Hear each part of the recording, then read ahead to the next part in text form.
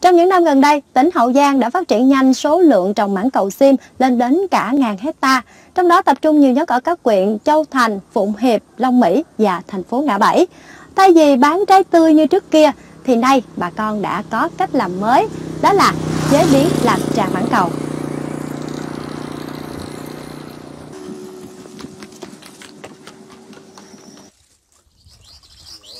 Thông thường, mãng cầu sim bà con thu hoạch một năm hai vụ. Vụ thuận vào mùa nắng và vụ nghịch vào mùa mưa. Tuy nhiên để mãn cầu tự thụ phấn sẽ cho trái rất ít.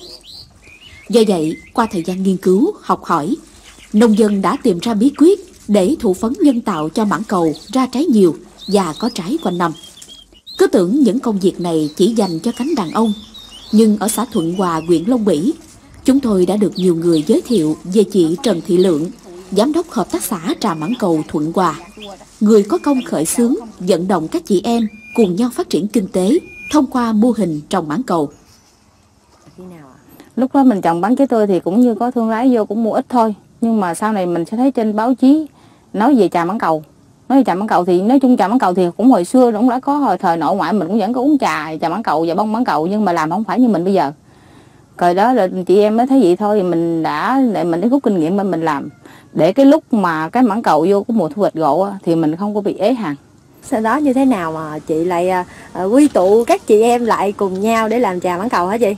Thì bây giờ mình nên mình làm cũng không được gì cho nên mình mới quy tụ chị em lại. À, quy tụ chị em lại là nhà chị cũng có giường nhà em cũng có giường thì nó mình nó quy tụ lại là mình tụ họp chị em lại trong mình làm. À, như vậy nó mới được cái nhiều lần cái sản phẩm nếu như được nhiều thì mình mới mới tụ họp lại là mình mới làm được nhiều lần như mình cái tổ hợp tác mình đông thì mình mới làm được cái sản phẩm nhiều và mình mới ra ngoài được à, hợp tác xã của mình á toàn là chị em phụ nữ không à. Ừ. em thấy uh, rất là đặc biệt luôn á. Ừ. chị chia sẻ cho em về hợp tác xã của mình với ạ.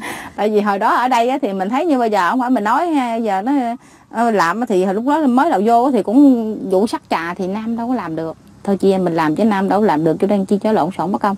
Thôi giờ mình đã cái gì mình đọc thì nó lạ hơn người ta thôi giờ người ta hợp tác xã có này có nọ mình quyết định là nữ không đi cho nó dễ Vậy là các chị em trong hợp tác xã phân chia nhau làm các công đoạn.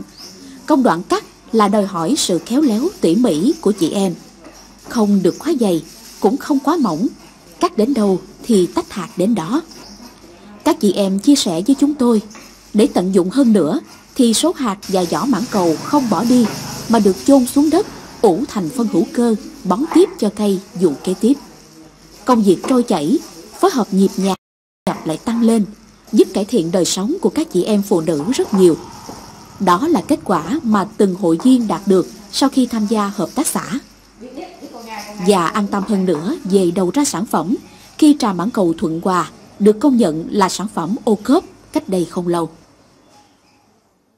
Ờ, chị rất là mừng, chị rất là vui. Trước tiên đó là chị rất mừng là chị lại mình hồi không không ngờ là bây giờ mình đã đem lại cái lợi nhuận được cho chị em của mình ở đây, à, chai tập thể và cái thứ hai nữa, mình cũng đem những cái tốt, cái đẹp về ở trên chỗ, ở ở địa phương của mình.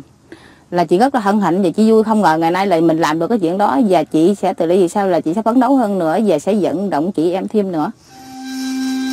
Thành quả này có được chính nhờ sự sáng tạo, kiên trì học hỏi, đoàn kết, gắn bó của các chị em phụ nữ, mang lại nhiều giá trị cho xã hội, đúng như tiêu chí mà các chị đã đặt ra. Muốn đi nhanh, hãy đi một mình. Muốn đi xa thì hãy đi cùng nhau.